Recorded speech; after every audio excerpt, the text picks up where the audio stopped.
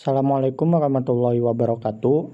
Di video ini saya akan mengajarkan bagaimana cara promosi lewat akun Facebook ya. Yang pertama kalian harus memiliki akun Facebook sendiri dan akun Facebook yang sudah memiliki marketplace-nya karena ini sangat penting ya. Promosi lewat marketplace itu sangat efektif sekali ya. Jadi kita harus memiliki Facebook yang ada marketplace-nya. Kalau misalnya Facebook Anda gak ada marketplace-nya, saya punya solusi. Solusinya seperti ini. Anda membuat Facebook baru dan edit tanggal lahirnya.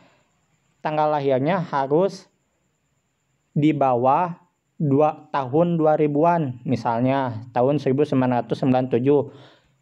Maka otomatis Facebook kalian akan memiliki marketplace. Cara promosinya mudah saja. Kita klik jual, pencet item, masukkan produk yang mau kita jual. Contoh, produk yang saya jual celana.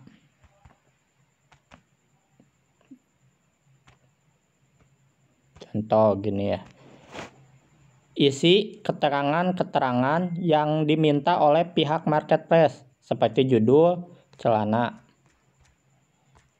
celana harga saya isi. Kategori isi untuk log kondisi juga isi ya. Kalau merek dan ukuran itu jangan diisi ya.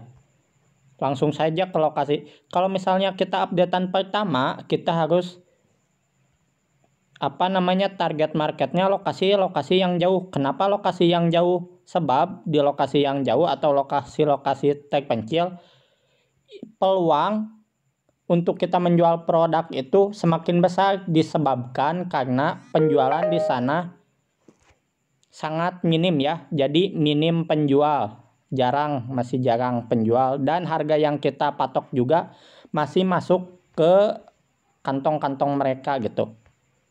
Contoh kita di sini ya di Banjarmasin terapkan.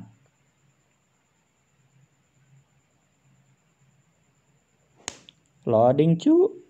Nah, kita terapkan di daerah-daerah daerah-daerah luar Jawa. Untuk keterangan isi sesuka hati kalian. Saya sudah mempunyai timeline sendiri ya untuk keterangan saya isi seperti ini. Sekarang bisa bayar di tempat minimal order 3 untuk harga sudah tertera ya. Langsung lanjutkan dan bagikan ke grup-grup yang ada di Facebook Anda.